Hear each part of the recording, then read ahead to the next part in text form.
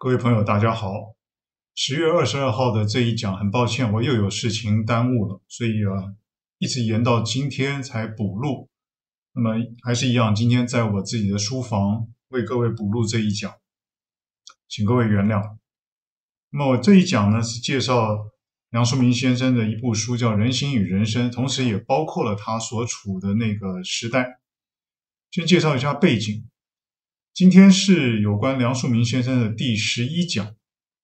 我们在上一讲概要的介绍了他在中华人民共和国最初十年期间的经历和他的思想变化，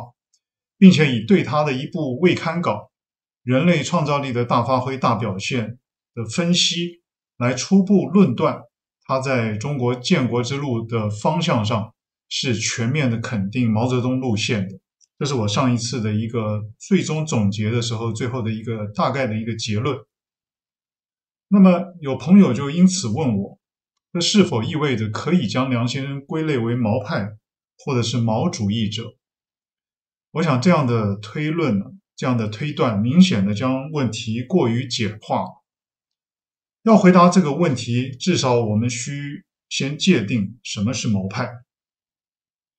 除了有关。政治社会的理想目标以外，其实定义毛派还需要包括了毛对人性与文化的基本观点，所以毛派其实包含的意义相当的广泛。我可以明确的回答我个人的意见：杨树明不是毛主义者，他不能算是毛派。那么，但是呢，上一次为什么会有那样的一个结论呢？我想，因为梁漱溟的思想有它的复杂性，有它的曲折。因为梁漱溟在政治社会的层面，他是属于广义的社会主义者，因此他不会像一般的自由主义者那样一一开始就彻底的否定毛或者毛泽东路线。他不会啊，因为他自己也是属于广义的社会主义者的这个阵营。梁漱溟始终。在仔细的观察中共的具体措施，并且他也认真的反省自己的思想与社会实践。他对于毛的评论，乃至于对新政权的评论，都是以他的乡村建设事业以及他长期以来的文化观点作为参照。正因为他早就有了一套从自身生命。历练苦思而来的完整的理论体系，所以他对这一套的体系呢也深具信心，自诩他的这一套体系绝非泛言空论，所以他是有自信的。虽然他也反省自己的错误、自己的不足之处，但他基本上对自己过去几十年人生历练过来所得的这一套理论体系、思想体系，他是有相当的自信。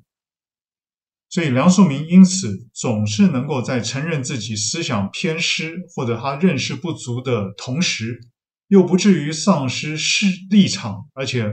也不至于盲从权威。这一点我要特别跟各位朋友呃强调这一点啊，因为很多朋友常常会陷于两端，有的人认为他失去立场，所以才会去称赞毛；有的人认为他是被迫不得已讲的。那么我觉得都不是啊，因为要评论、要判断梁漱溟这一段时间的议论呢，我们必须要从他整个的体系着手，然后完整的去理解他，才不至于对他这某一个特定时期的言论失去判断力。所以梁漱溟的反省或者检讨都是有所本的，也都是他深思熟虑后的肺腑之论。我们今天这一讲，我也将要采取跟上一讲类似的途径。我们今天要借着对梁漱溟晚年他最看重的一部著作叫《人心与人生》的讨论，然后呢，综合评述一九六零年之后接下来的十余年间的共和国的形势，大概到一九七零年代中期，一九六零到一九七零年代中期这个共和国形势的变迁。以及梁漱溟的思想演化。梁漱溟先生早在一九二四年就已经立意要做《人心与人生》这部书。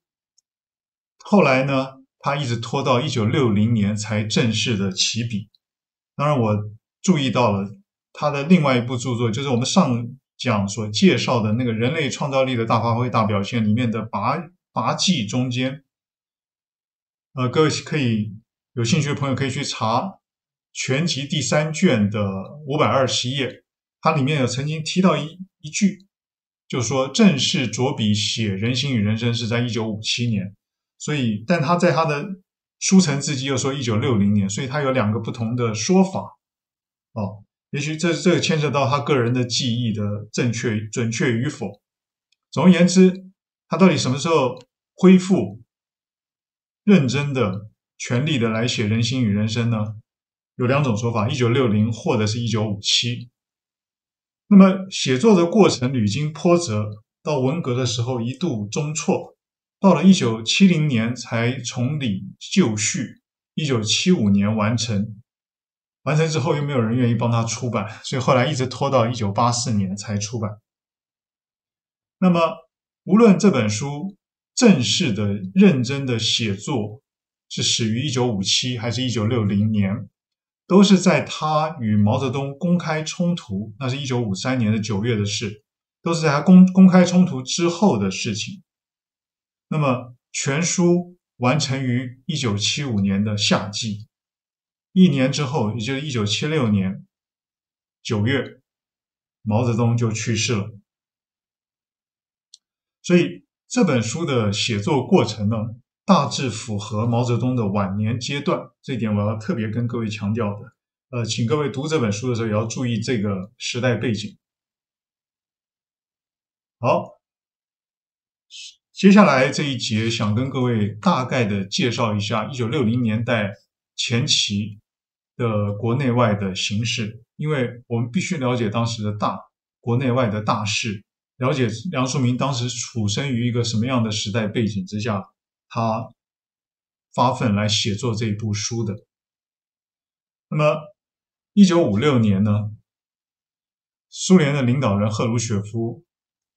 严厉的批判了史达林的个人崇拜现象。史达林刚去世没有多久，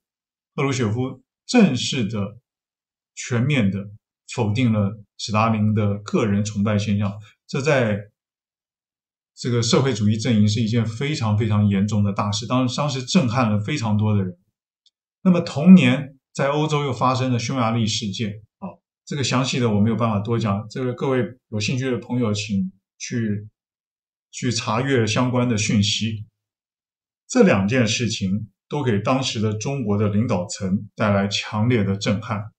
并且由此对苏联产生了戒心。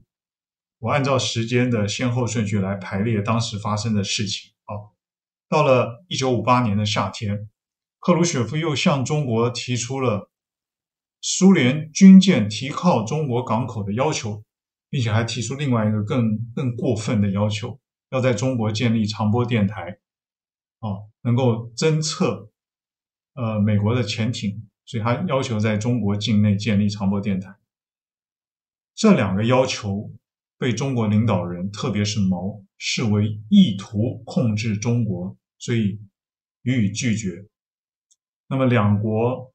领导层开始产生了芥蒂，而且这个芥蒂很短的时间之内就发展的越来越深，越结越深。到了一九六零年的六月，中苏的分裂就公开化了。那么苏联在当时呢，就撤回。援华技术专家，这个对中国是一大一大打击，所以中国遭遇到了沉重的打击，主要在国家建设方面，特别是物质层面的国家建设上遭到沉重的打击，而且在外交形势上，在国际上陷入了孤立。不但西方国家以美国为首的西方国家阵营以中国为敌，现在连苏联为首的社会主义阵营。也开始孤立中国。那么，在国内方面呢？我们延续上一讲所讲到的，几乎在同一个时候，中国在进行大跃进、人民公社运动。那么，毛泽东发动大跃进的主要原因，我们上一讲提到过，就是拒绝苏联式的发展道路所必须付出的社会代价，包括了官僚主义、新形式的社会不平等、特权阶级的左掌，还有城乡差距的拉大，以及平均主义的意识形态，这是延安时期树立起来的理想，逐渐的衰退。大跃进的平均主义和民粹主义，它的背后蕴含的一个很深刻的含义是反对官僚啊，因此就遭到了新政权建立之后所形成的新的官僚体系，就是共产党的干部体系的强烈的反对。这是这是中华人民共和国史最有意思、最引人深思的一段刚建国时期的一个一个面对的一个深刻的考验。啊，其实它并不仅限于中共所面对的问题，它它的它的参考意义、它的教训，它值得思考的地方是是值得到今天还是值得我们深刻的，而且要严肃的对待、要留意的啊，只是很很多人都不愿意再讨论它。一九六零年大跃进的失败和毛的退出政治舞台中心。导致了党和国家官僚权力的卷土重来。随着大跃进的崩溃以及自身在政治权力中心的孤立，毛开始担心革命的前途。他认为革命制度，我因为引用 Mason 的书啊，所以我把这个他原来的词汇附在后面。他用的是 revolutionary order。革命的制度也许会夭折。中华人民共和国建立，好不容易建立起了一套这个新的 revolutionary order，可能会被不革命的国家，就是不革命，就是拒绝革命、不再革命了的。尽管那些人也是共产党员，这是毛毛心中是这样看待他们的。他怀疑他们会这样子，这不一定是事实，但是他怀疑，他他担心他们会这样。会被一个已经形成的一套新建构的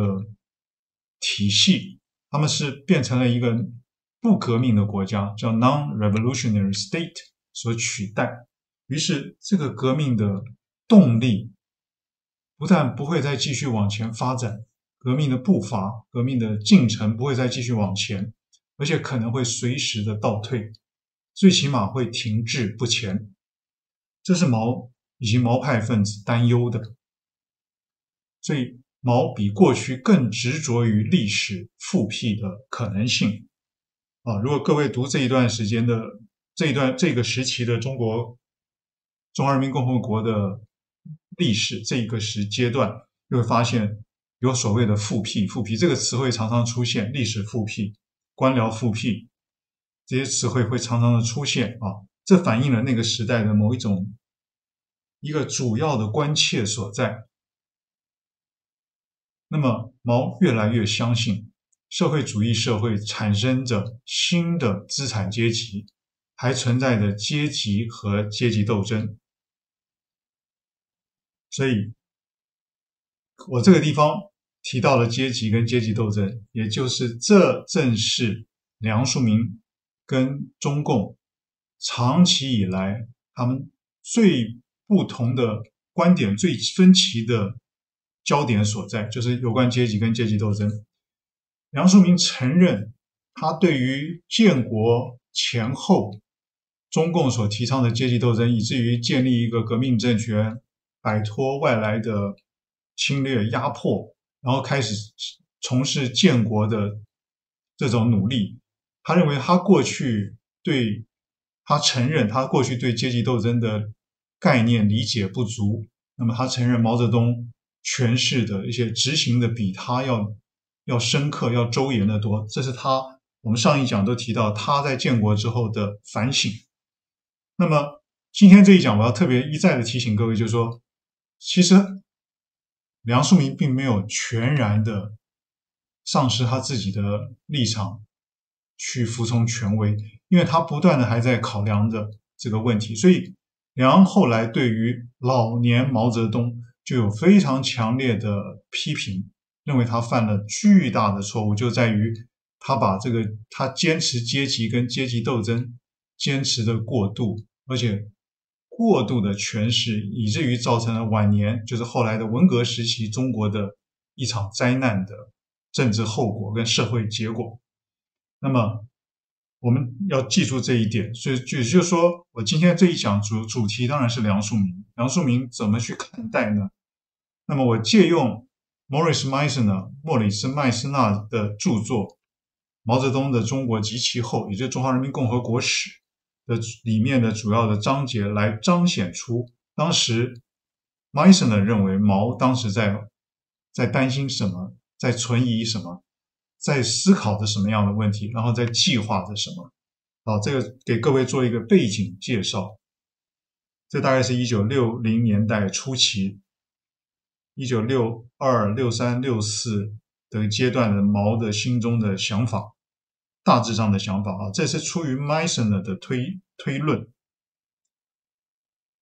那么从一九六一年开始，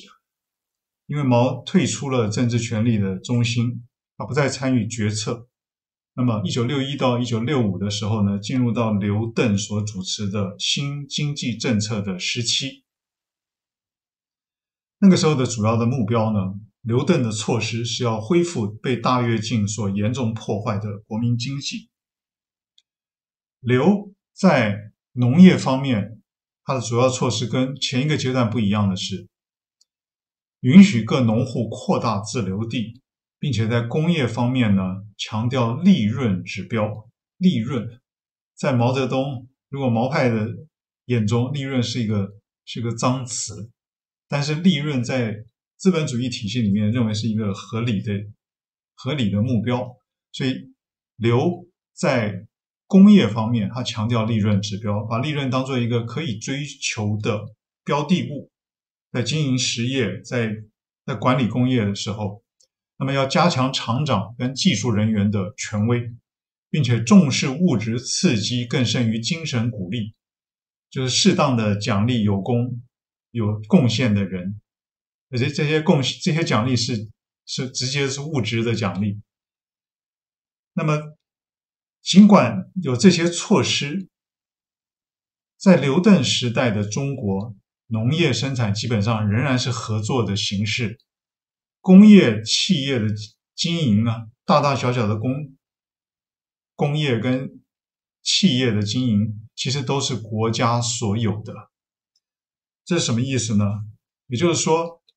所谓的毛路线跟刘路线，如果从我们今天的我们今天所处的这个历史时刻回头去看望那个历史阶段，从历史的发展来回头看那个时代，其实。从我们今天的角度来看，两者的实质的差别并不大，他们都是社会主义，而且都是中国共产党的那个阵营里面的基本路数，只是他们的措施略有差异而已。起码从我们今天的角度，大部分人看看回顾会觉得差异不大，但是在当时的时空背景之下，这两条路线在当时的分歧却是显得非常的尖锐。所以有很多人是不能接受，你要么就是有的人，要么是非常非常拥护，要么要么就是强烈的反感。所以他们当时分歧是非常激烈、非常尖锐的。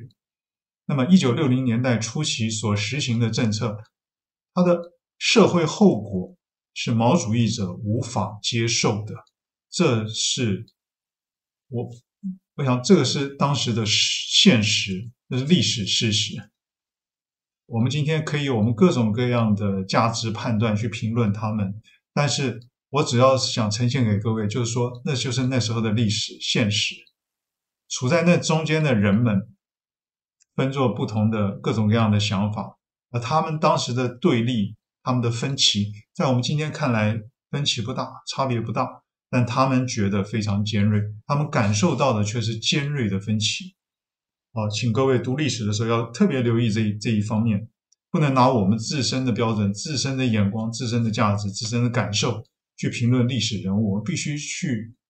深入到里面，发挥一点历史的想象力，理解当时的人是怎么怎么看问题，他们怎么感受问题的。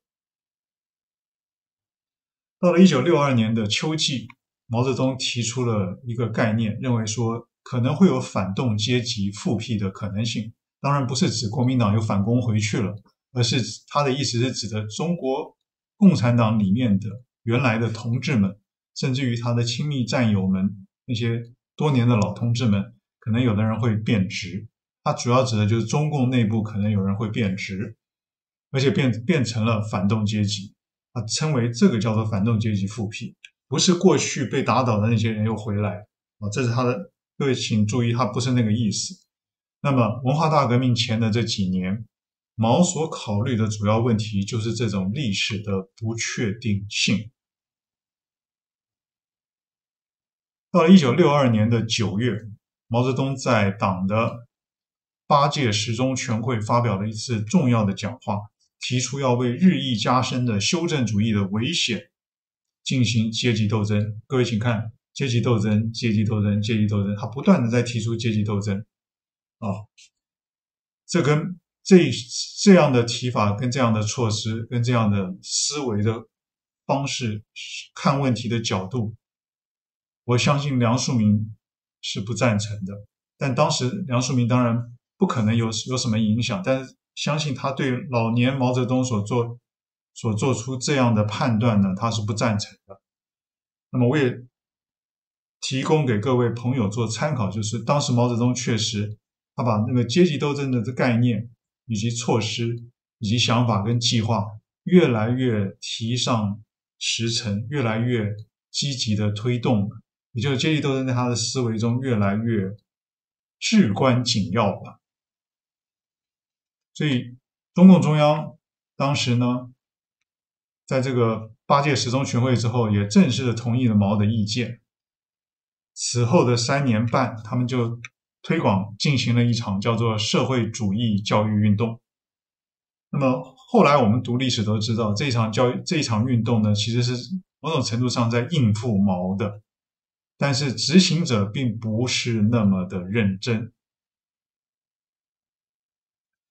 那么社会主义教育运动呢，这场运动是毛最后一次试图通过党和国家的正式的体系。去实现自己的社会变革的努力，这是最后一次。他想以延安整风运动的模式作为基础。那么这场运动的目的，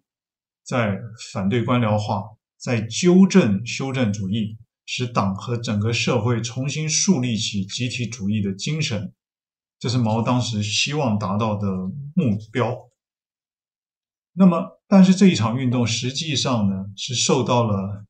以刘邓为代表的当时的正在主持政策、主持政务的那一套、那整个整套的官僚体系的抵制，最起码是普遍的冷遇，就是应付毛而已，表面做表面工作。呃，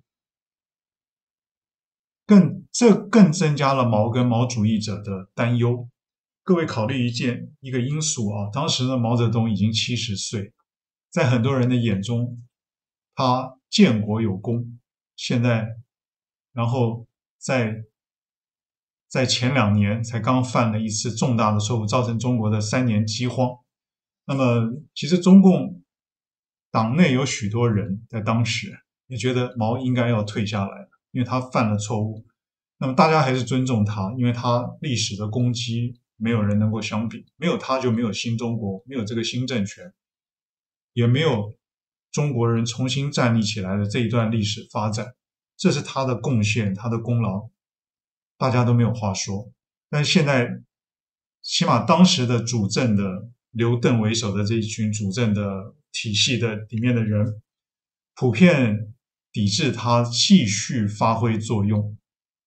希望他大家给他最高的荣誉，把他高高的拱起来，供奉起来，但是希望他不要再介入。不要在实际的介入政策执行，乃至于政策的拟定，这是非常有可能的。我对这段历史也是这样子看，但他们低估了毛的能量啊，因为他们以为毛在政治体系已经已经有点边缘化，毛在党内也事实上在意见上处于少数的地位。他们以为凭借着整个体系党的组织体系的力量，可以让毛边缘化，但他们。愿意给毛最大的可能的荣誉，但希望他真正的退下来。但是他们的这种做法反而反过来刺激了毛跟毛的支持者，他们对这中国的发展道路的担忧，所以毛跟毛主义者反反而把官僚这些曾经是他们的亲密的同生共死的同志。视为社会邪恶与不平等的主要根源。啊，这个相关的论述，请参阅麦森的书的第十六章，它有非常精彩的概念性的论述啊。但是我觉得这这是很重要的理解的一个切入点。好，我们下一节就要讲到时间到了一九六六年，刚才一路按照时间的顺序讲那个。我很简要的给各位介绍了那个一九六零年代前期的历史的国内外形势的发展一个趋势所向。那么，既然社会主义教育运动不成功，而且很明显的受到了冷遇跟应付而已，那么毛跟毛主义者、毛的支持者开始他们的那种不安全感、不确定感以及对。反对反对派的反对他们意见的人的那种敌意，上升到了敌我意识，啊，所以终于爆发了文化大革命。毛在一九六六年，他是以中国共产党的领袖的身份，他是这一场革命这个新中国的缔造者的身份，他从这样的地位亲手发动了一场无产阶级的文化大革命，这是最特殊的一点。这是这是在人类历史上很少有的一个一个革命政权的绝对权威的领袖，他居然会发动了一场运动，企图把他一手缔造的这一个这个党，乃至于这个国家、这个政权、这个体系，企图要把它毁掉，最起码要把他们打倒，或者是重新来过，重新呃。换血，重新纠正他们的方向，这个在人类历史上都是非常罕见的啊！这一段二十二十世纪的这一段历史啊，将来在人类历史上会是一个持续的研讨的课题。我们到今天为止，对对于这一段历史，中国大陆的史史史家当然是比较偏于肯定的，但那肯定也不是。平心而论，不是太深刻的论述。那么海外呢？因为出于冷战时期延续到今天的反中共、反共、反中国的倾向，其实也人们也很容易轻忽这一段历史的深刻意涵。其实这一段历史啊，呃，真正的深刻的研究可能还没有真正开始。哦，所以有待于将来的后后代子孙们啊，有待于将来的这个。这个历史学家们如何去重新来判断这段历史？其实我觉得全人类都没有办法回避。好，毛泽东终于一九六六年发动了文化大革命，这是毛最后一次的革命活动。他绕开了前面社会主义教育运动，他还最后一次透过党跟国家的机器，这回他绕过了他们，他直接诉诸于年轻的学生，绕过了体制。他绕过体制，他不再相信那个体制，所以，但是这是他最后一次的革命的活动，是他为了复兴，请注意看挂号里面说，至少是他认为的濒临绝境的革命所做的最后努力。这这一场努力呢，是他想要挽救这个革命的方向跟这个革命的理想，他不愿意看到好不容易几十年的奋斗、浴血奋战建立起了这个革命的成果。这么短的时间之内毁到一个一个偏离的方向上，所以他开始很认真的思考的要，他不惜打掉这整个体制，即使重新来过都可以。他他一再提出了那个他可以冲上井冈山的这种说法，各位可以了解，这是他当时的心态，他要挽救这一场革命的成果。至少他认为这个革命的成果遭到严重的威胁。那么文革有一点啊，我们在概念上要论要要讲清楚的，就是文革不仅是毛主义跟毛时代发展的历史的顶点，而且我特别这个地方特别强调，那个时代的经验将会支配着毛之后年代的中国人的政治意识，这一点非常非常的明确啊。即使今天表象并不清楚，并不明显，但事实上它还在发挥的作用。那么，对于文革的评价非常的不容易。这场运动没有潜力，又充满了争议与矛盾。当然，这不是我今天这一讲的主题。很抱歉，我没有办法深入的去发展，要要要深入去讲也非常非常的困难。我论述到这边为止，也只是在陈述，在在铺陈。梁漱溟写《人心与人生》的那个时代背景而已，请各位要能够理解我做这番铺陈的用意所在。那么，所谓的文化革命，它什么意思呢？它是中国现代史里面一个非常非常重大的议题。它不是毛泽东个人的发明，毛泽东是中国现代史中间的一个一个人，他既。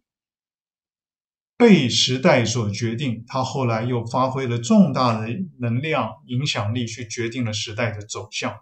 但是毛不是凭空一个人想出了他种种的概念，所以他不是毛一个人的个人发明，他是新文化运动以来的普遍而且深刻植根于中国知识分子的脑海中的一个概念，所以。从新文化运动、五四新文化运动以来，其实中国的知识界普遍都有一个倾向，强烈的倾向，就是要进行文化革命，就是反对，就是反反传统文化。这是一个二十世纪中国的呃思想界的主流，反传统。那么，反传统要进行文化革命，包含两个主要的观念。第一个当然就是全盘性的反传统文化，这是第一个。第二个呢是强调人的意识在创造历史中的作用。这个后来毛发挥的到了极致，毛非常强调人人的意识的正确性的重要啊，能不能正确认识历史、认识时时事、认识未来的方向，强调人的意识在创造历史中的重要作用。那么这一。第二点其实非常的抵触于跟这个正统派的马克思主义的历史观是抵触的，因为所谓的呃正统派的马克思主义应该是认为，呃这个生产这个人的生产关系决定人的思想意识，但是毛主义是倒过来的，毛主义认为说。呃，人类的生产条件、生产关系固然重要，你的生产发展到了什么阶段？但人的意识、人的思想意识是可以独立于那个现实的生产条件之外，有它的强大的独立性，非常非常具体的独立性，可以反过来左右呃实质层面的生产力的发展。这是毛毛主义跟这个。正统派的马克思主义最不一样的地方，我们可以称之为是毛的进一步的发展。马克思主义也可以这样说，也可以说是毛所代表的中国现代史上的中国知识界普遍的一种意识，反传统，强调个人人的意识在创造历史中的作用性。好，这是文化革命的两大观念。我们回到梁漱溟。仅就上述第一点，全盘性的反传统文化，梁漱溟就完全不属于毛主义的阵营。这一点应该讲到这里，应该非常明显了吧？所以说，为什么我说毛梁漱溟不是毛派，他不是毛主义者？但是在一九六零年前后，他一度非常肯定毛的建国之路，这是我们上一讲所最后得到的结论。在那个倾向上，他其实是在建国之路上，在一九五零年代后期到一九六零年代早期，他是倾向于全面的肯定毛的建国发展的路线的。这是我当时提出来，但这并不意味着他是毫无立场的，崇崇尚权威的，放弃自己立场的，去变成一个毛主义者或者毛派路线的拥护者，并不全然是，因为梁漱溟是一个独立自主的思考者，他可以承认自己的错误，哦，但是他不会盲目的。呃，没有想清楚的问题，他不会盲目的接受别人的意见，哪怕对方是一个绝对的权威，无论是政治权威还是学术权威，没有经过他脑子思考过，没有说服过他自己的东西，他是不会接受，他不会全然接受，他会反省，他会不断的思考，但他不会盲从于权威，这一点是我要特别跟各位一而再再而三强调的。好，所以从。反传统这个角度来看，梁跟毛就非常不一样。那么至于第二点呢，强调人的意识在发展中的历史发展中的作用呢，人的意识的作用性很强，这一点它倒是接近，但是它跟毛可能也并不尽相同。哦，但是梁漱溟所强调的人心、人的意识、人的思想的这种。作用性那种那种绝对的价值，其实是非在形式上是接近的，在内容上不尽相同。好，那么好，我们回到文革，刘邓所代表的官方立场，坚持中国已经消灭了阶级差别，很有意思。我我我下一讲下十一月份的的下一讲啊，我会。花比较多的篇幅来讲这一部分，因为这句话下面这句话，当时在中共的八大提出的，就是说中国社会存在的主要矛盾，就是这是一九五零年代中期提出来的，说一九五六年提出来的，先进的社会制度与落后的社会生产力之间的矛盾。这句话提出来，意思就是说，现在该大家应该全力建国，发展国家。全方位的发展国家、建设国家，大家要把阶级斗争的这个主张跟措施暂时搁一下，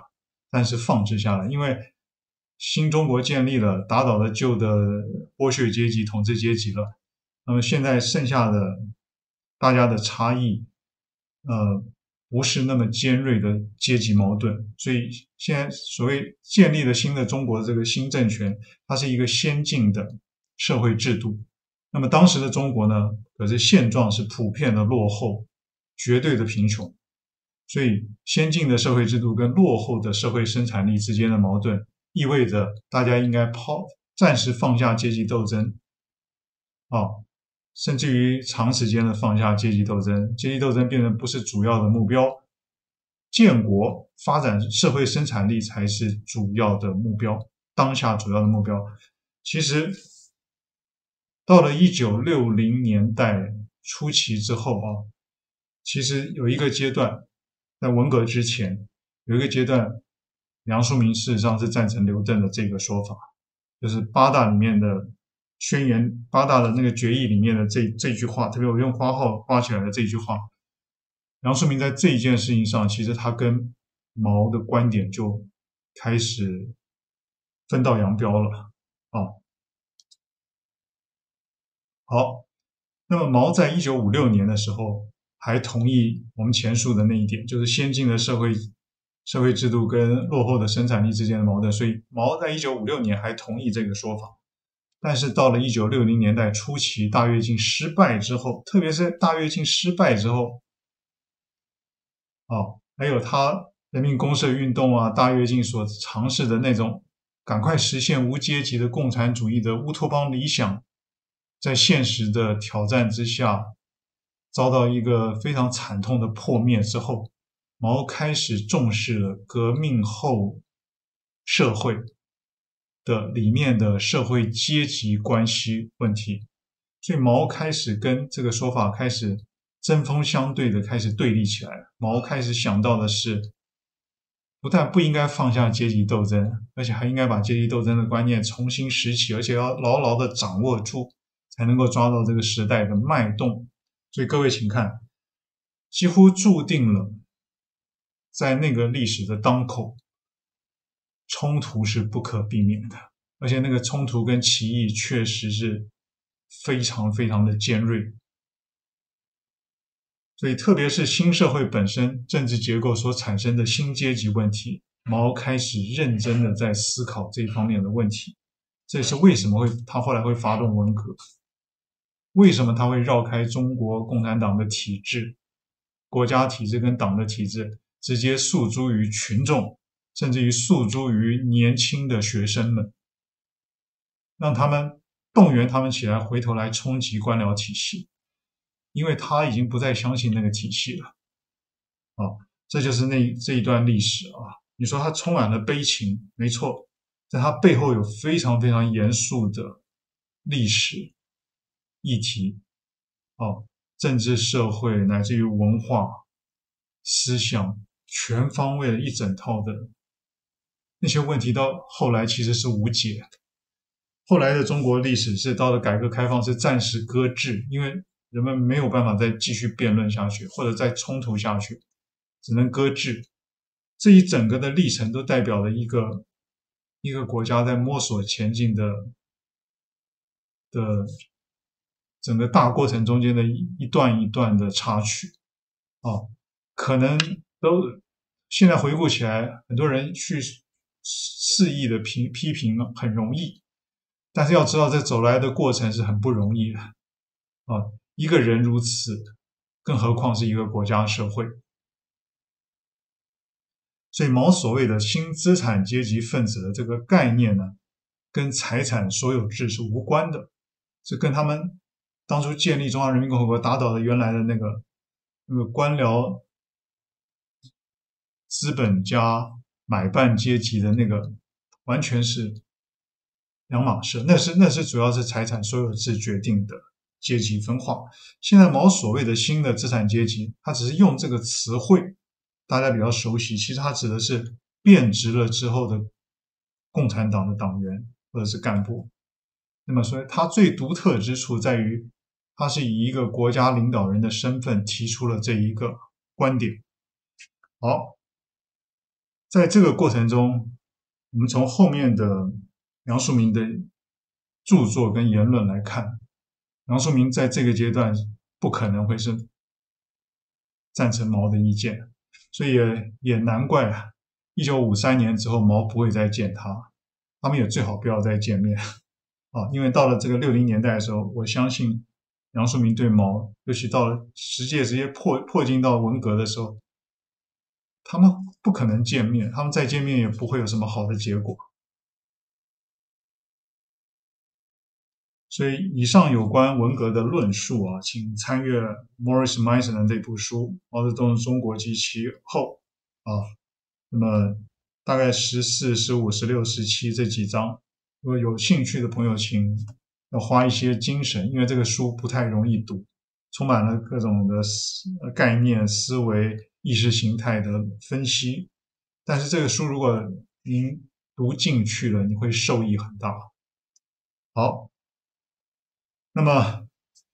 接下来我们再把注意力拉回到梁漱溟本人，他的经历，他的处境。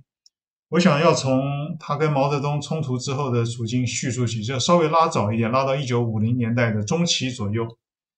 一九五三年九月，他跟毛泽东冲突之后，杨树明的后来的处境呢，直到文革爆发的处境呢，其实并不算太困难。这是平心而论，正如毛当时骂他的时候所坚持的说：“我还要保留你的全国政协委员的职位，我不会让你把你保留在那边，让让大家来看一看你作为一个负面教材。”这是毛当时盛怒之下说的一些很不很不中听的话，但是确实毛也在实质的作为上也信守了他的他的话。他的诺言，信守了他的他自己的这个承诺，就是说他确实保有了让梁继续保有的全国政协委员的职位，所以这意味着他没有把梁漱溟排除于人民的行列之外。当然，在接下来的几年的期间，梁漱溟遭遇到有组织的批判活动，也是在所难免的，这当然的。那么，一九五四年的春夏之交，一个比较值得称称述的，是比较值得呃跟各位介绍的，就是中国科学院组织一一场批判梁漱溟反对总路线的一个小型会。中国科学院当时院长是郭沫若。那么，我根据梁漱溟先生年谱的编著者李渊亭的文字啊，在。他把他文字记述在年谱里面。李渊亭当时呢，陪同老师梁梁漱溟赴会。那么，李渊廷很简短，但是很很深刻的描绘了郭沫若声色俱厉的那种发言的场景。这些都给都给李渊廷留下了非常负面的观感跟感慨。李渊廷特别记述郭沫若的那一段啊，有兴趣的朋友可以去找来看一看，我这边就不要多多转述了。那么，这是一九五四年，但是后来在一九五六年，在政协的组织的那个学习会上，梁漱溟谈了两年来对他展开思想批判的感受，他坦诚。自己过去从思想到行动最要紧、最根本的错误就在阶级问题上，这是他一再提到的。他跟他跟中共的分歧在对阶级问题、阶级斗争议题的讨论上、跟理解上。那么，建国最起码最初的十年到一九六零年左右，他一直在反省的，就是他承认自己在这一方面他是错的。判断的标准是什么？就是他所主张的道路没有成功，中共的道路就完成了建国。好，我引他的话，他说：“过去我过分强调中国的特殊性，一贯的拒绝以阶级眼光看中国社会，以阶级斗争来解决中国问题，满相信自己超身在阶级外，原来恰恰是站在具有反动性的那种阶级的窠臼中，这样。”多少年来，就实际在做着反对革命的事，却自以为是革命，这是他的自我反省。他说：“我还以此号召于人，这比之于不不革命的，或者说简简单单反对革命的所起的作用大不相同。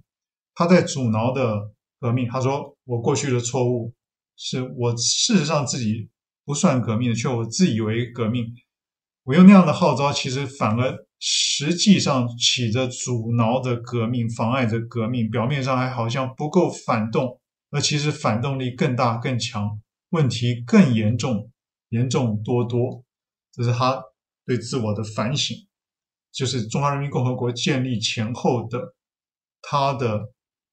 那个阶段，他认为他过度强调中国的特殊性，过度的拒绝接受阶级斗争的观念，这是一个错误。所以梁漱溟承认那个错误，那后后来他承认在这一点上，尤其到后来他，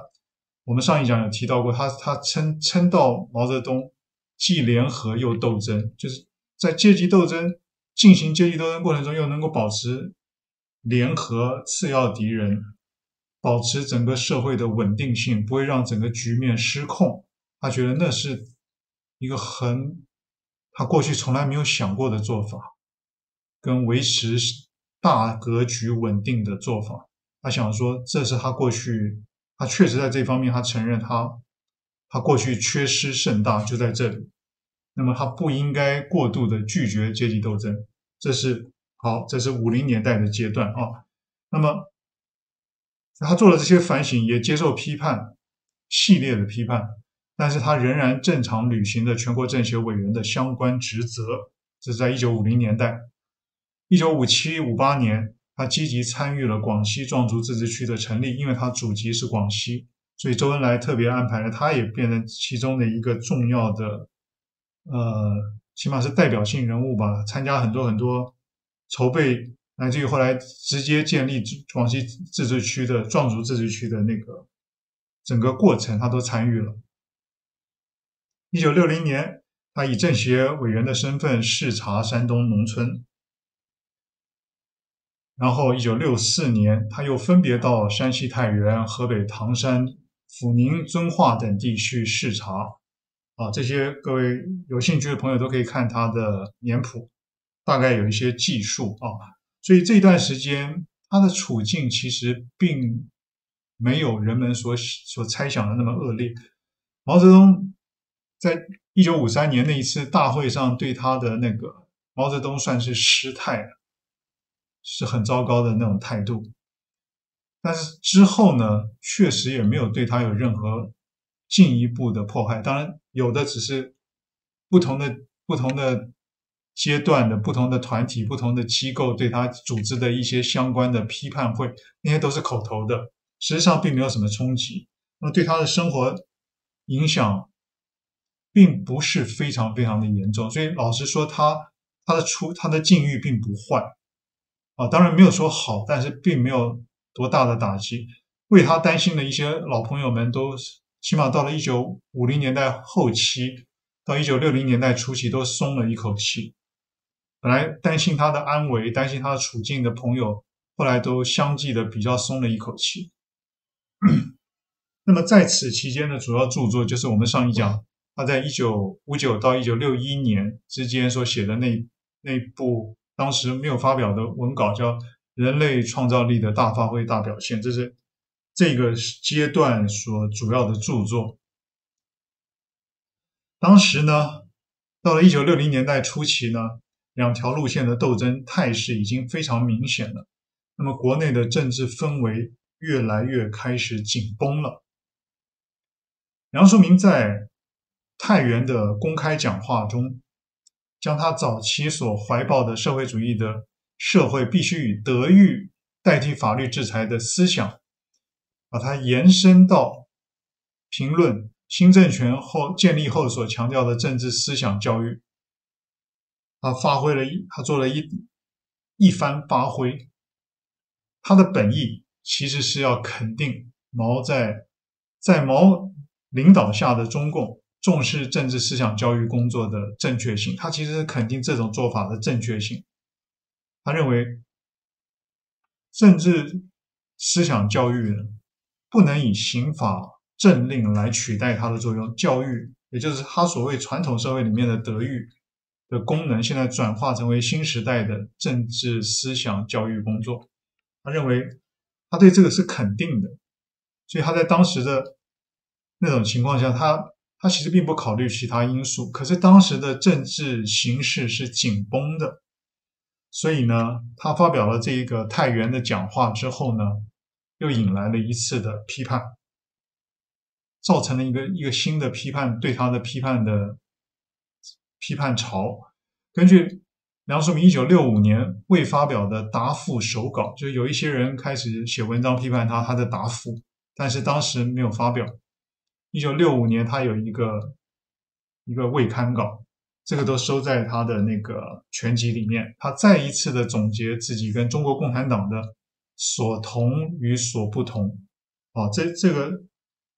这段文字很有意思啊。他再一次总结过去几十年，他说他跟中国共产党有两个地方相同，有一个地方不同。两个相同的是什么呢？请看这个他自己的话。他说：“中国社会出路在走向社会主义，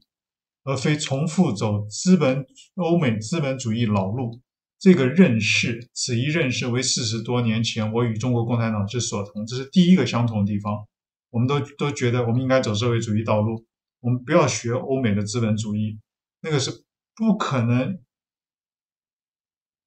完全交给中国，让中国走上同样的道路。因为中国如果走欧美资本主义的道路的话，这个世界一定走向毁灭，而且那不是人类应该走的。我们应该直接就走向社会主义的道路。这个是四十多年前我就跟中国共产党共同的看法，这是认识第一个。第二个，为了从计划经济建设社会主义。我们要做到的话，必须先要有一个全国统一、稳定的革命政权的建立。此一要求，前面是此一认识，我跟中国共产党一样。这个要求呢，也是我跟中国共产党所同，所以有两个两个地方相同。一个是认识到中国就要走，不要走欧美资本主义道路，要走社会主义，这是我们共同认识。第二个，中国革命要先建立一个革命政权，然后来确保中国能够走上社会主义的道路。这两点是我跟中国共产党相同的。好，请看接下去他又说，所不同的在哪里？在如何建立此一政权问题上。中共走一般革命之路，就是阶级斗争之路。我，就梁漱溟，则根据我对中国几千年社会之认识和近百年中国问题之认识，我判断其走不通。我原来判断中共走不通，可是今天的事实证明了，中国共产党在毛主席领导下，居然走通了，建立起了一个革命政权。这个革命政权有效的把帝国主义。势力给赶出了中国，啊，而且让他们不敢再再随便的侵犯中国，这是第一步就建立建立了一个有效的、稳定的、统一的革命政权，于是开始国家建设。那么到目前为止，梁漱溟的反省是说，他承认这就是事实，事实给了我答案，我错了。然后中共跟毛。基本上在这一个问题上看法是对的，但是各位有一点我要特别跟各位讲，他不是完全的自我否定，他是承认这件事情上我看错了，我承认我的错误。其实这恰恰正显示他个人的人格的完整性跟他的原则性。各位不晓得同不同意我这个说法？啊，所以他说我中共居然。在毛主席领导下，居然完全走通了。那么我自己所设想并致力的一条路完全落空。所以面对事实，完全承认我过去判断是错的，我的坚持是错的。我现在承认。所以梁检讨自己的错误有三点。他总结：第一个，自己去原来并不真的懂阶级问题；第二个。自己自以为超脱于阶级之外，其实不由自主的那种态度，让我自己不由自主的落到了统治阶级，为统治阶级而说话的，站在他们的角度看问题的状态，而我自己不知道。那么第三个，我因此我是一个分不清敌我的人，这是他的当时他自我反省，从这个有关阶级议题的检讨，自我反省自己有三个错误。所在要点。那么，另外，他自己反省：我这一生不贪安逸，不图享受。抗战的时候，我到敌后跟随着游击队行动，我还有颇自诩，我还颇有一些不怕苦、不怕死的气概。但是，他又自己静心的反省。虽则中怀有爱国感情，对祖国的责任感。虽然我心中确实是有责任感、有爱国情怀的，可是我的爱国情怀却夹杂着意气自雄的个人英雄主义，而远非忘我的革命英雄主义。这个地方很有意思，他把英雄主义概念上分作两种：一种是夹杂着个人的私欲、私好名好利的这种心，特别是好名。这种自以为是的意气自雄的叫个人英雄主义，英雄主义还有另外一种，就是属于可贵的，那是忘我的革命英雄主义。所以我的思想改造，首先应当消除自高自大的个人英雄主义，这种感情思想只能出自于剥削阶级。那么我应该避免重蹈维新的旧习，啊，这是他的自我反省。一九六六年，那是一九六五。前面讲的是一九六五年，还还在自我反省。但到了一九六六年的五月，文化大革命正式爆发，正式开展。到了八月份的时候，八月二十四号，文革的冲击就降临到梁漱溟的身上。红卫兵上门来抄家，这个抄家对他打击非常之大，因为梁氏三代从他曾祖父。开始定居北京，他们三代到他第四代定居北京，他前面三代祖父、曾曾祖父、祖父、父亲都都做官，都算是他们家算是官宦人家。虽然官不是顶大的，但是好歹是京官，都有一定的、一定的文化素养跟阶级社会地位的。他们三代所藏的书，还有他们家所保留下来的明清的名家的绘画，还有他个人，他父亲开始到他个人，从戊戌维新到东西文化论战的时候，尤其是梁漱溟很年轻就变成一个文化界的名人，所以有很多当时的名家跟他来往的书信手札，都其实都非非常珍贵的文物，都被集中在院子里面烧了几天，烧完，可见那个量有多大，要烧好几天。三代的藏书、明清字画、名人手札都被烧毁殆尽，烧了好几天。他们的房间，因为他的他的住家因为有电话，所以红卫兵觉得很适合做他们红卫兵的司令部，所以就把他们赶出来，赶到一个原来在他们院子里面堆放扫帚杂物的小房间，让他们夫妇两个栖身，其他的房间通通贴上封条，不准他们进。他们家有电话的那个房间变成红卫兵的司令部。那么八月二十九号那天，红卫兵虐待这个梁漱溟的夫人陈淑芬女士，哦，逼他跪在地上去吃那个生的丝瓜。梁漱溟当时呢就忍不住，因为陈夫人已经七十岁了，梁漱溟当时是七十五岁。梁漱溟站起来跟这些文卫兵说。都是中学生，他跟他们说：“他那么大的年纪，你们不要这样对他。”所以梁漱溟也被强迫跪下，夫妇两个都被跪在地上。然后陈夫人，陈夫人后来被打成重伤卧床。然后梁红卫兵又勒令他们打扫街道、厕所，限制他们的自由。所以这这一段八月多、八月下旬这一段，是对他来说是一个很大的打击跟考验。梁漱溟后来他自己回顾，他说：“我起初我内心颇感不适，没有办法释怀，觉得怎么会这样的事情，怎么可以这样子对待我们？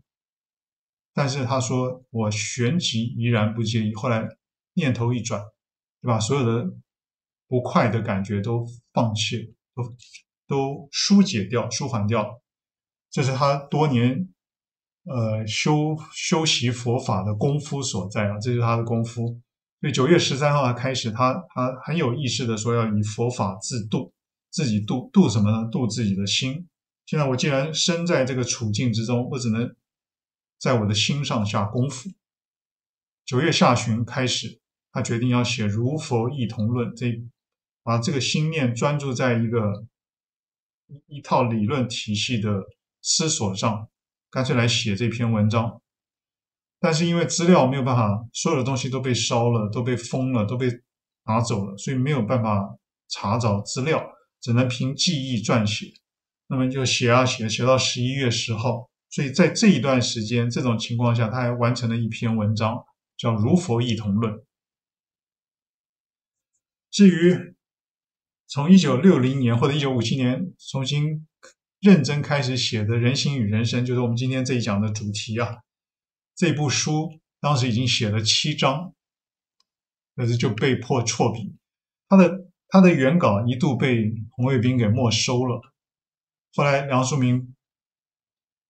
经过很大的努力去交涉、去请托，后来呃有没有到周恩来的层次不知道。总而言之，后来。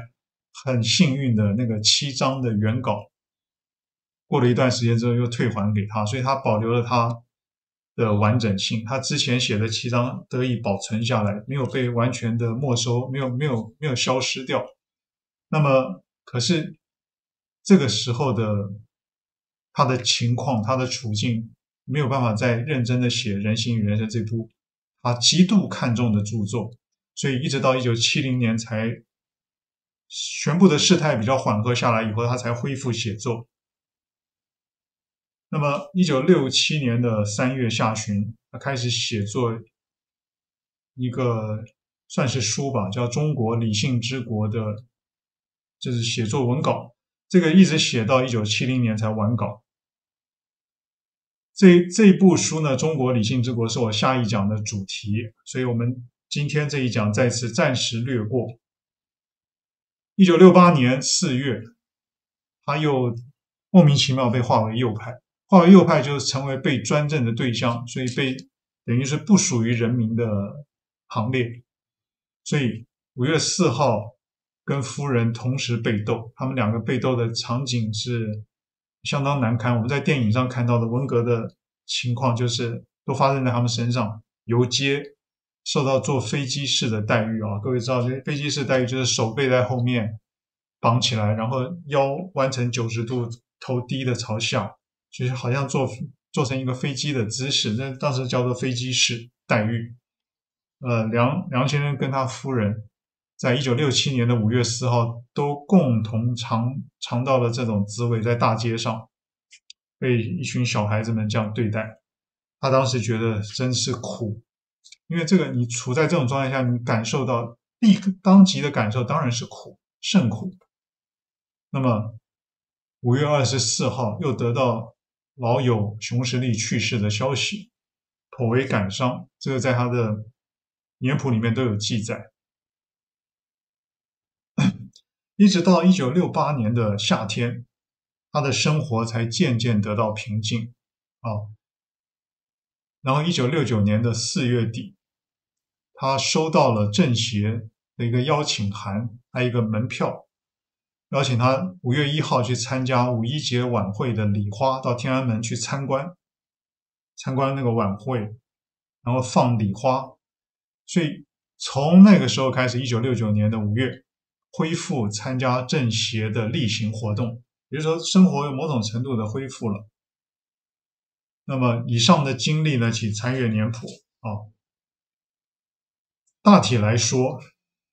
比起许多其他的知识分子的遭遇，梁漱溟在文革中所受到的冲击还不算太严重。尽管我有些朋友可能觉得那还不严重嘛，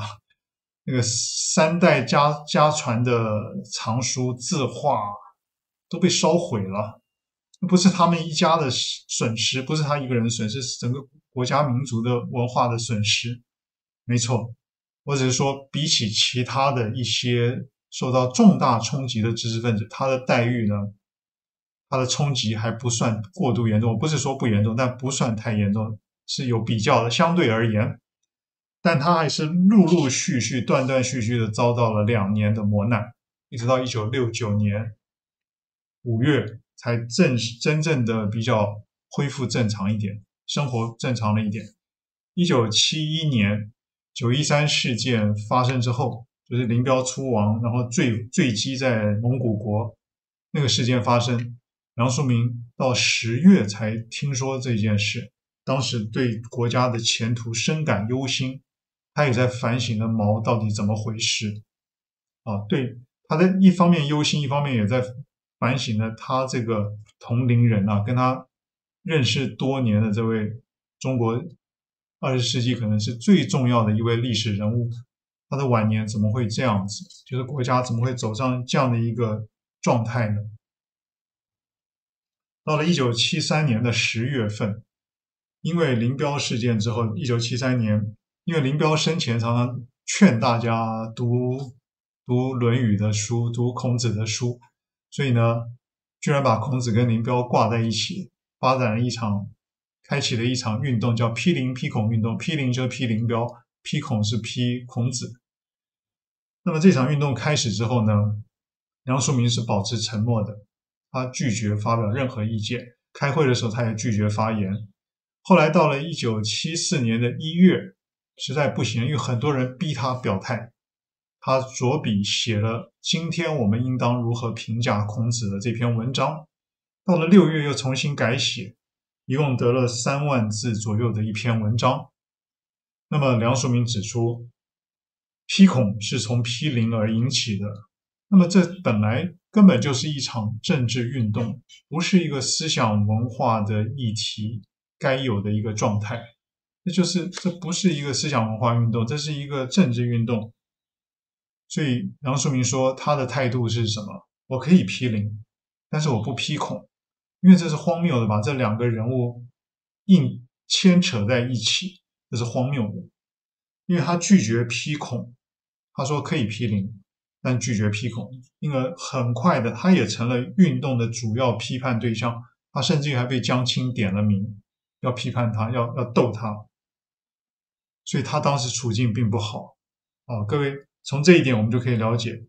他他是一个硬骨头，他不是一个轻易向权威低头的人。在当时的这样的一个时代背景下，他能够不低头，他拒绝批孔。各位回过头去回顾我们上一讲所介绍的那个一九五零年代期间，他跟。一九五三年，他跟毛的冲突，他反省他自己有很大的错误，他对毛过度的冲撞，而且是很不恰当。他自我反省，各位要了解，那个反省就不是因应权威的压迫而而不得不做的让步。各位了解我的意思了？因为可以看到，到了一九七三年，二十年之后，一九七三年跟一九五三年的情况，一九七三年更危险，但他都拒绝接，拒绝让步，拒绝低头。何况一九五三年，所以由这个我可以大概推断，一九五三年他承认自己的错误，他是真心的，他是真诚的反省，觉得自己是做的不对，并不表示毛没有错误啊，他并没有说毛是完全正正确的，而是他真的觉得他自己当时犯了很严重的自我膨胀、自高自大的态度，他凭什么要毛跟他当这么众人的面要向他认认错，更正自己的错误？收回已经讲出来的话，其实那是没有他自己觉得那是没有必要的一种要求，只是为了想要树立他自己的尊严而已。那他觉得这这种态度是错的。好，现在二十年后，一九七三年批林批孔，他拒拒绝批孔就是拒绝批孔，因为这是文化大事，这是民族会命的一个重大的议题，这是大是大非的。我不管你们要对我怎样，拒绝就是拒绝。到了一九七四年的九月二十三号，在一场批判会上，主持人问梁漱溟：“你有什么感想？这么多人批评你，你现在有什么回答？”他脱口而出说：“三军可夺帅远，可匹夫不可夺志。”这句话后来传到海外，非常多的人就拼命鼓掌，就说他是一个反抗中共的、反抗暴政的一个一个。多么了不起的一个杰出的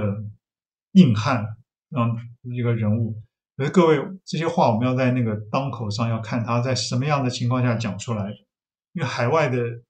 反共阵营的人诠释有时候是过度的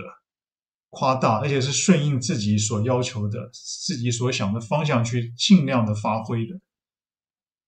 梁漱溟当时他的解释是说，因为主持人问他说：“你这话什么意思？”他就解释他说：“我认为。”孔子本身不是宗教，也不要人信仰他，他只是要人相信自己的理性，而不轻易的去相信别的什么。别的人可能对我有启发，但也还只是启发我的理性，只是这样而已。归根结底，我还是按我的理性而言而动。我们引我们据此引申而言，每一个人都该如此，我们每个人都该有自己的理性。都该启发出自己的理性。我们读孔子，不是把孔子当做神圣不可侵犯的权威，在那边处处的指导着我们，把那样子反而把孔子变成了一个一个一个皮鞭在鞭打着我们，或者是一个一个手铐铐着我们。其实我们自己丧失了自我。其实孔子只是要启发我的理性，让我自己去按照我的理性而。言而动，让我按照我的理性去走我的人生之路，只是如此而已。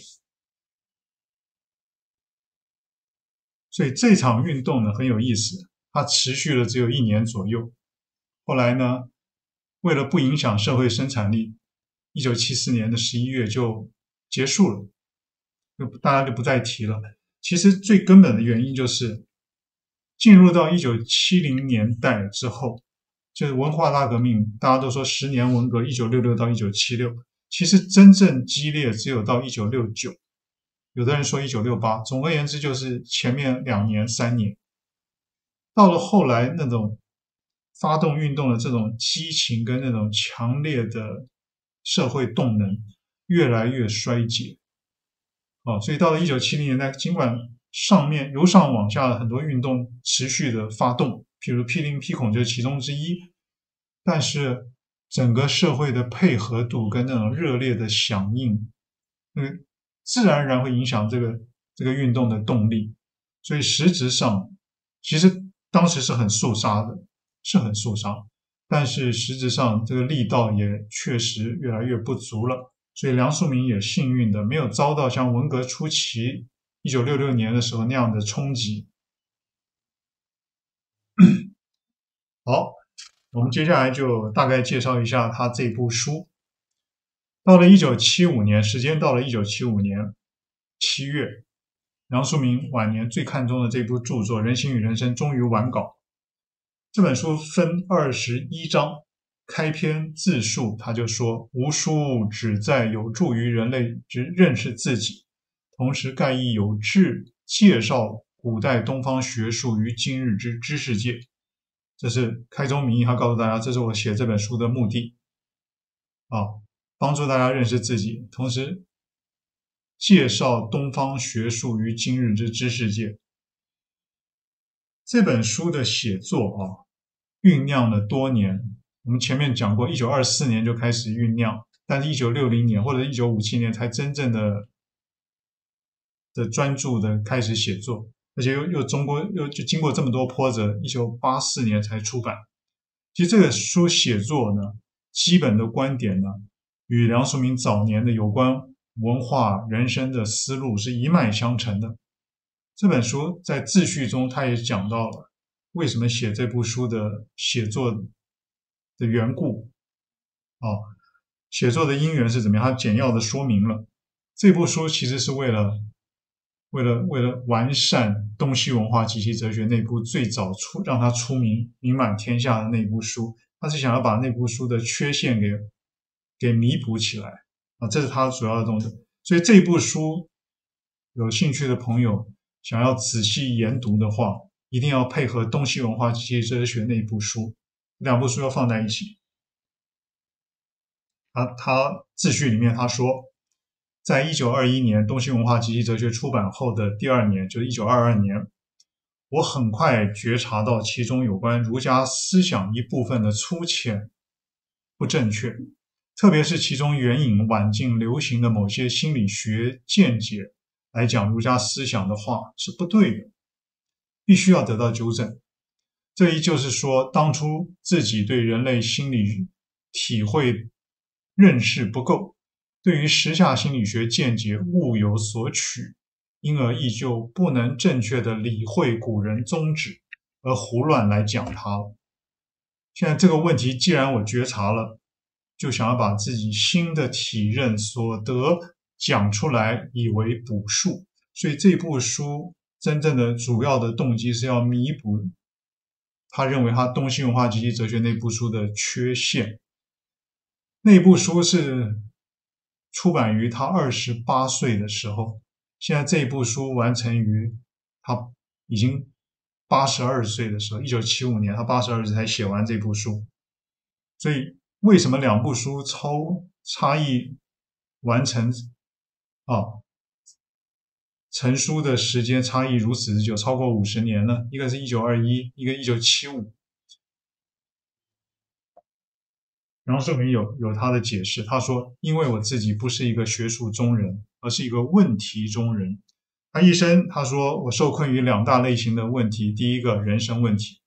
是非常根本的，也非常个人的。”第二个是社会问题，一生受困于这两大问题。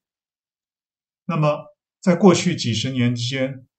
杨树明说，他主要是为了社会、为了国事而奔走。对于人生问题的思索，虽然从来没有放下，但是终不免受到挤压，而没有办法全力专注的去处理。那么，一九五三年与毛泽东公开冲突之后的生活，相对的疏离。跟跟远离了公共群众社会生活，所以反而给了他较多专注人生问题的机会。哦，这是因祸得福。他其实这某种程度上来也也也不太坏，反而给了他他不太忙了，给了他机会，专心的写作，专心的思考。所以梁漱溟为了写作这一部书，做了大量的准备工作，参酌了多位中外名家学者的著作和理论。这个各位去翻阅这部书的的参考书目，大概就可以大概可以有一个概念。那么里面用的最多，他最瞩目的哪些作品呢？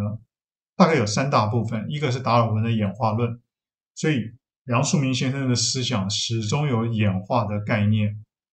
，evolution 有演化的概念，有这个有这个人类社会不是不是不变的，是有有一个在演化的过程，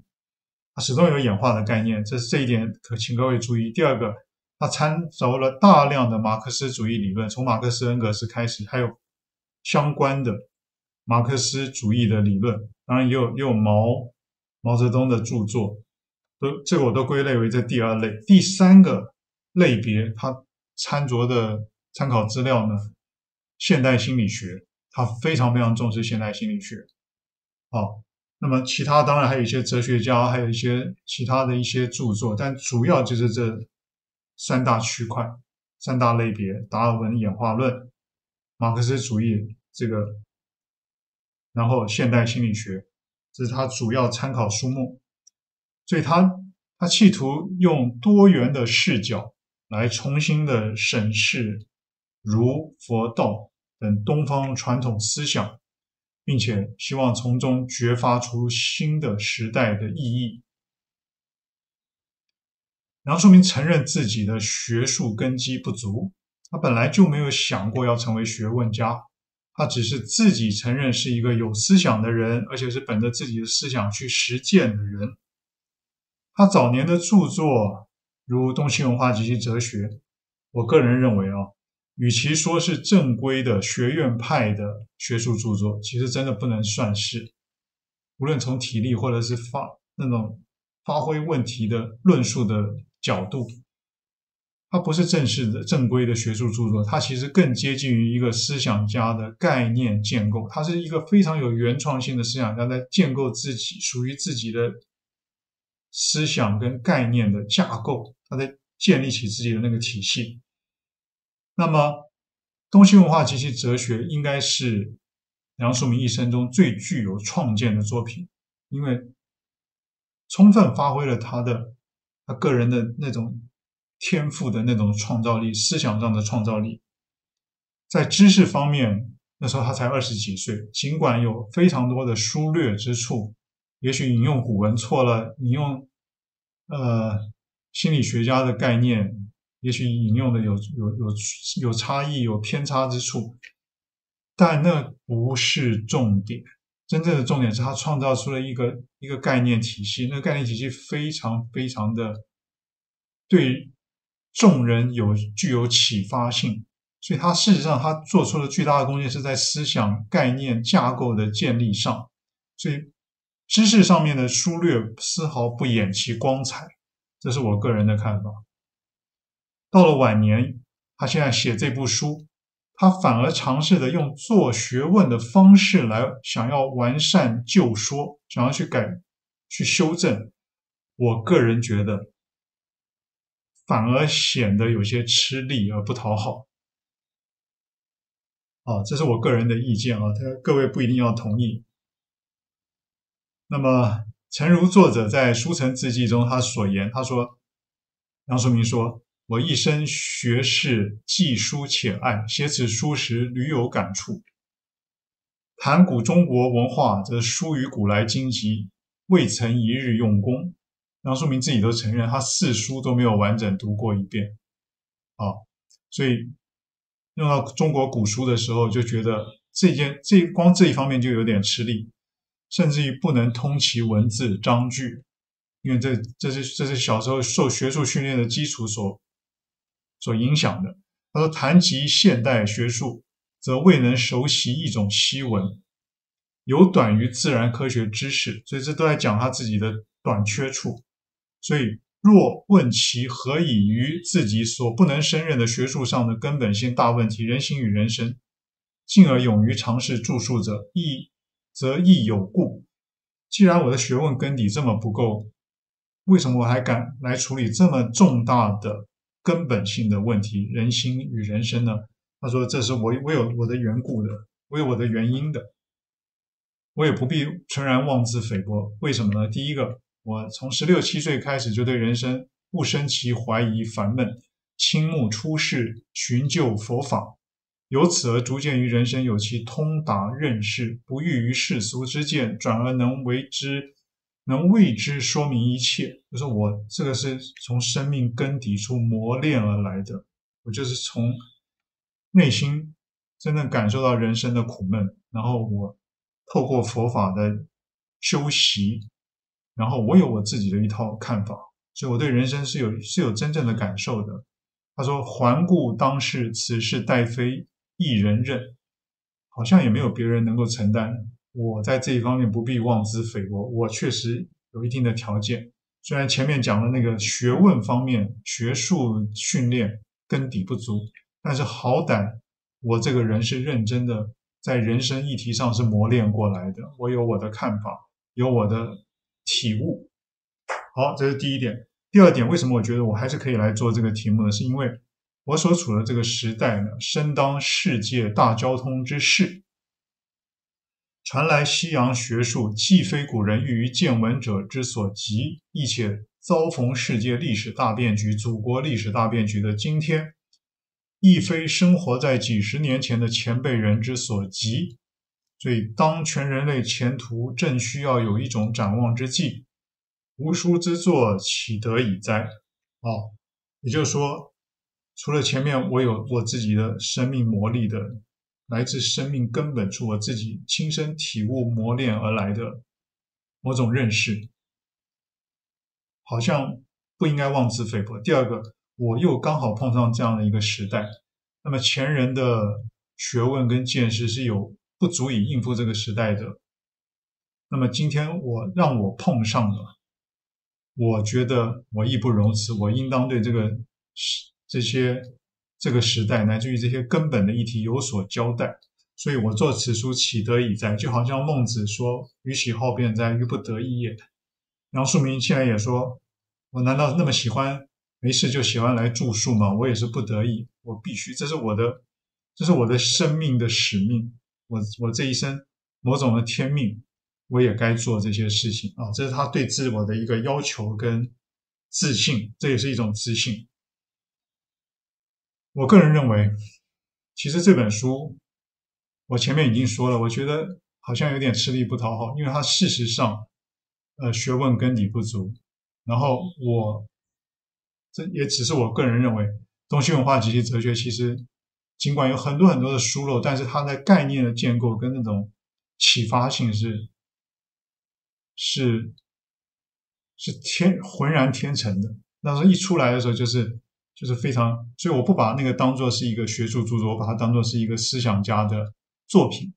可贵的作品，具有原创性的作品。现在这本书呢，我认为它真正可难能可贵之处在于，写作的时候它生逢中国现代文化反传统浪潮最激烈的时期，就文化大革命，就是现代中国文化反传统运动呢这个潮流达到最高峰的时候。杨树明在这样的时空背景下，丝毫不为外境牵动，这是他最难能可贵的地方。那么，他并且设法用更周延的论述，重新肯定东方三家之学——儒家、佛家、道家对当前世界的意义与价值。我觉得这是这才是这本书最难能可贵的地方。我引用他。好几个地方曾经讲出来的，人心重要在哪里？世间至可宝贵者莫如人，人之可贵在此心。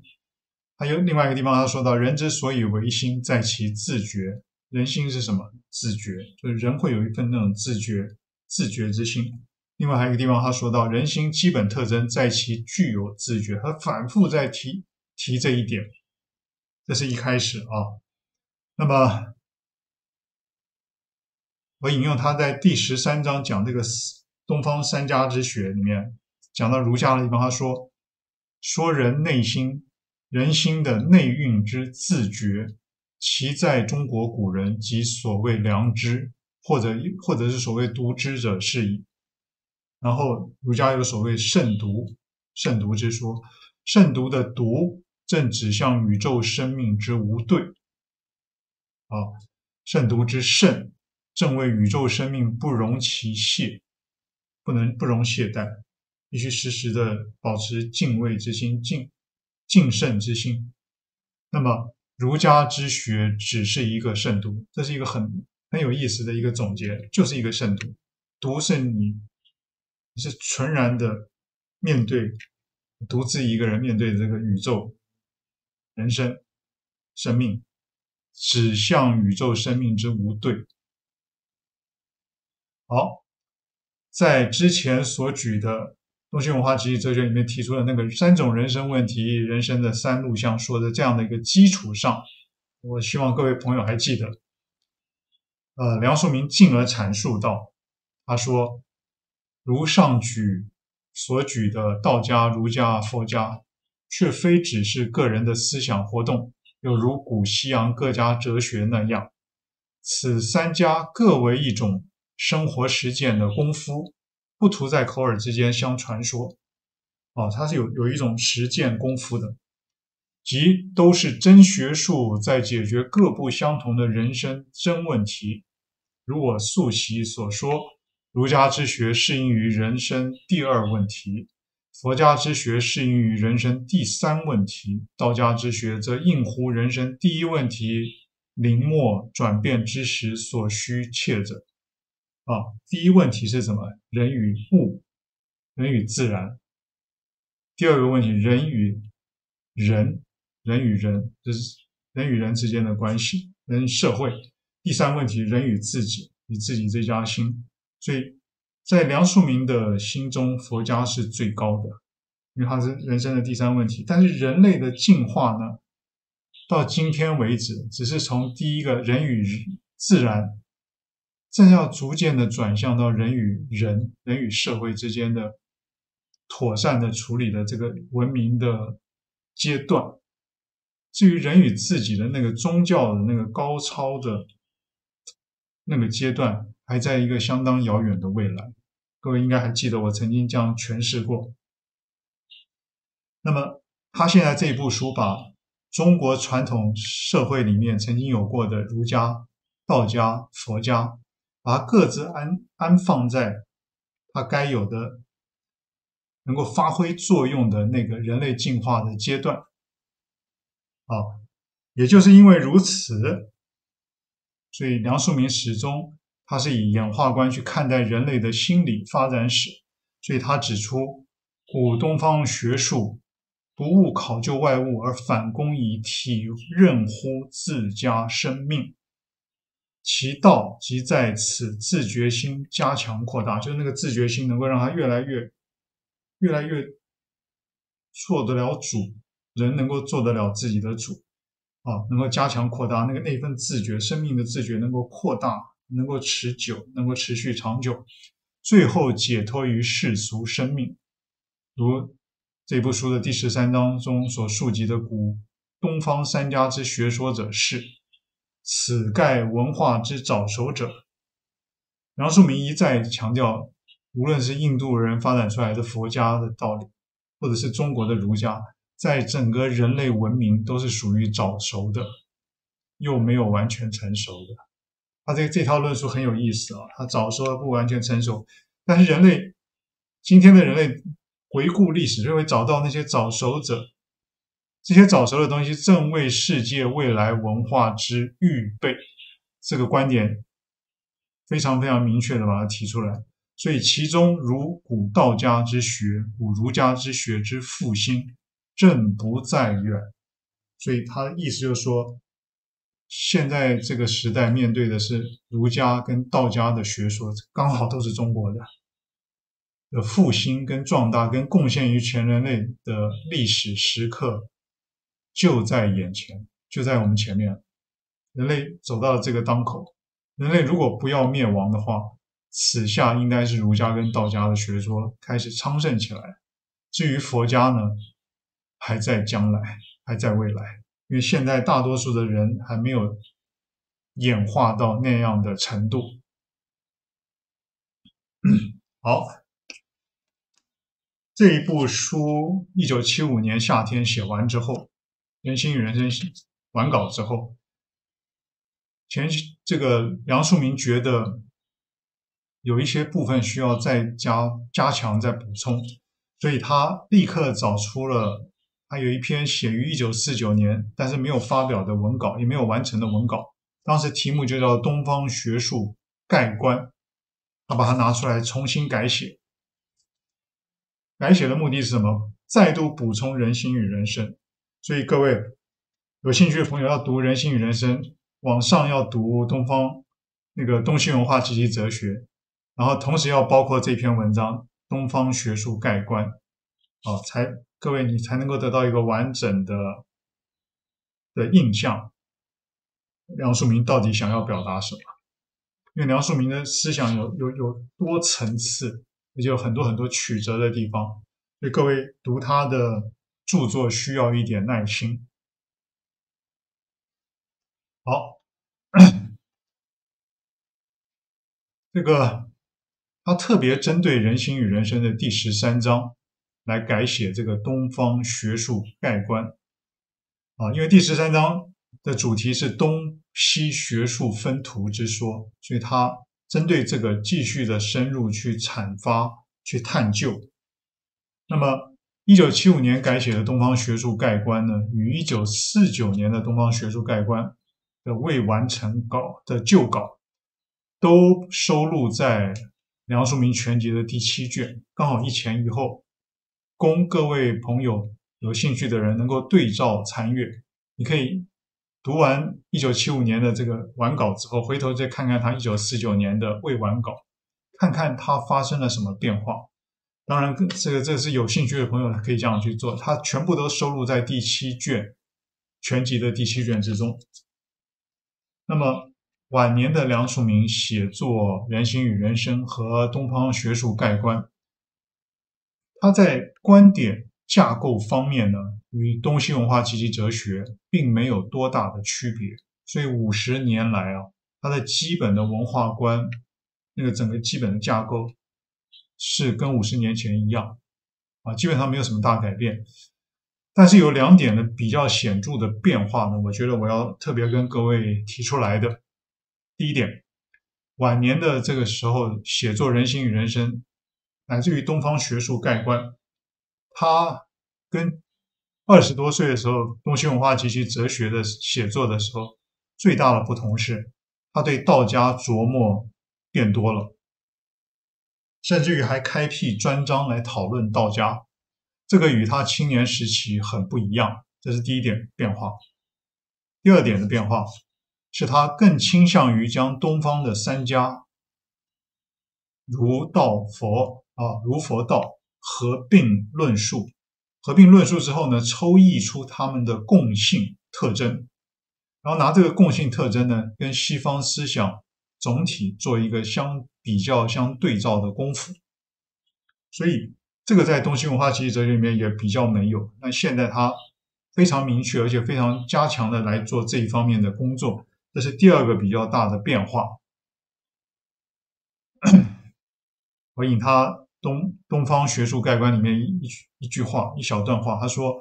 在模仿外国大学教育中，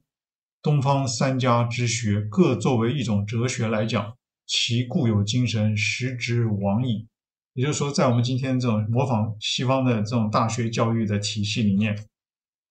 儒道佛三家，实质上是不可能正常的存活在。现代的教育体系里面，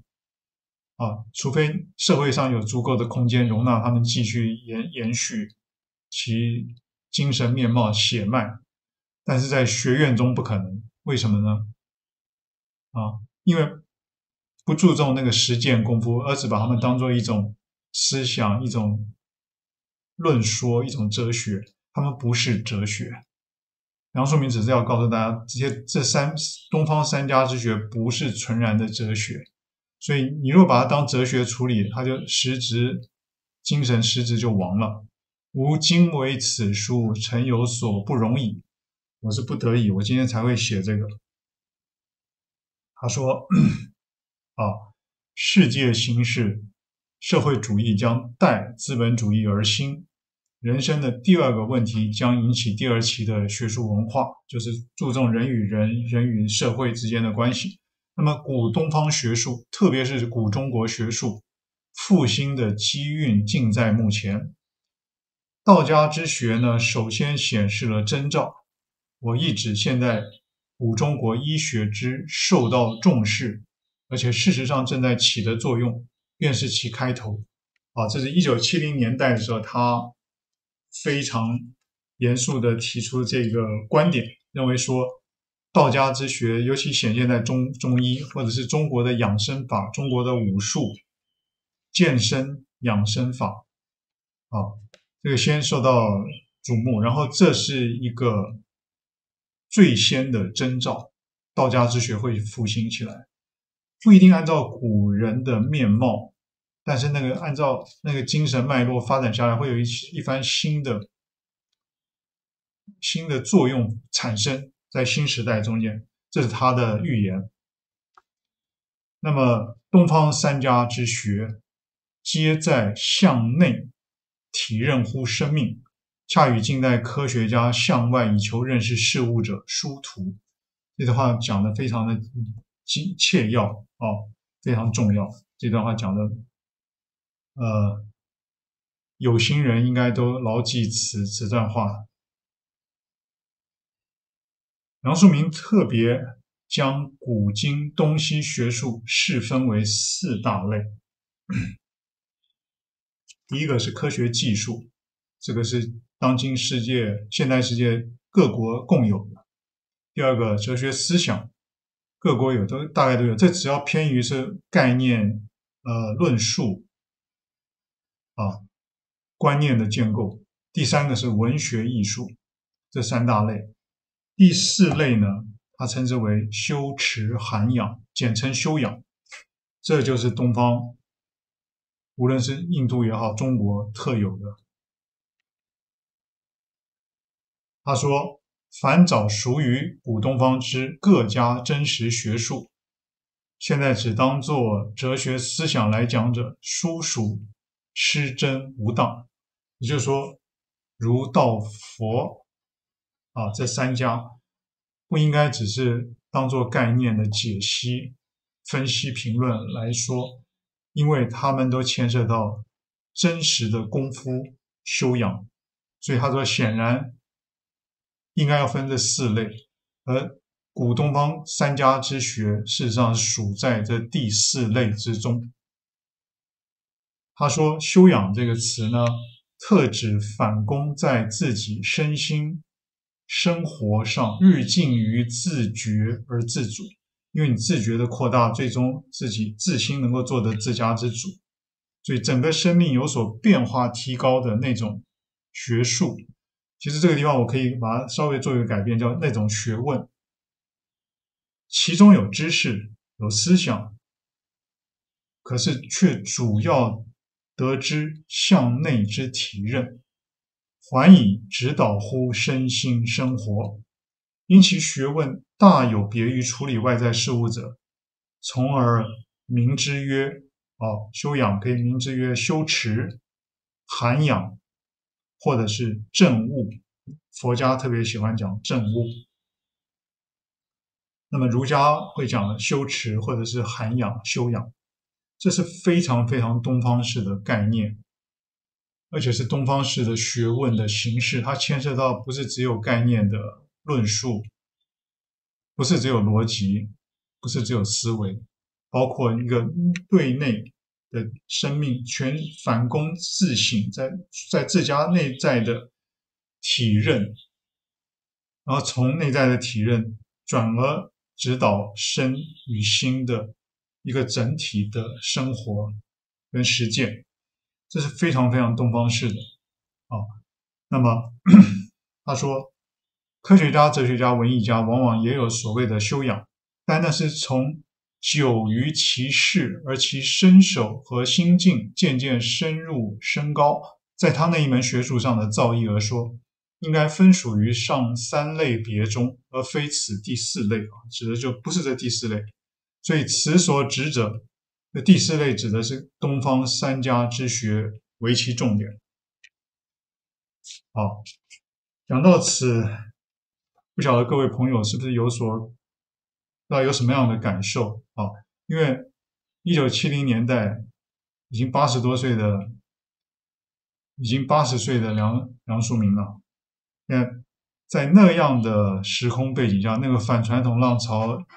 达到最高峰，正在才刚刚开始退潮的时候，他已经开始着重的宣扬、提醒世人，东方三家之学将是人类的下一个阶段的重点。而且，人类必将走向这个这三家之学的复兴，尤其是儒家跟道家，佛家可能还要再再等待到将来。但在他看来，眼迫在眼前的就是儒家跟道家，这是非常难能可贵的。他在这样的一个时空背景下提出这些。啊，所以晚年的梁漱溟可以说又回归到了，不能讲回归，就是他又回到了，他又重新梳理了他二十多岁的时候已经提出了那样的文化观、文化类型观，而且他开始指向了人类的整体的可能的出路，会是这样的道路。他在那样的一九七零年代的中国提出。还能够提出这样的说法是非常难能可贵的。那么最后，我想回到我们刚开始的一个问题，就是梁漱溟接近毛派吗？因为从上一次上一讲之后，就有朋友问过我这个问题哦，所以我从一开始今天这一讲一开始，我先问出这个问题，然后逐步逐步的铺陈，然后意图来回答。我最后再回到这个问题：他是毛派吗？除了上一讲我们谈到他在建国之路方面肯定过毛路线以外，在文化思想方面，显然他跟毛的观点都非常的不同。他对于老年的毛泽东的看法，则是毫不掩饰的批评他，他批评毛晚年在思想上犯了一重大的错误。具体显现出来的错误，就是他发动文革以及坚持、持续坚持。过度坚持、过度扩大阶级斗争的作用性，这是他对毛晚年重大批评。所以他不是一个崇尚权威、向权威轻易低头的人，他是一个非常自我、非常完整的人。他会检讨自我，他会怀疑自我，但他从来不会说昧着良心的话。这是梁漱溟最给我们最大、最大的、最可贵的。一个启示。那么，有关于他如何批评毛晚年的重大错误，有关这一方面，我想留到我们下一讲再继续讨论。今天跟各位介绍的这一讲就到此结束，谢谢各位。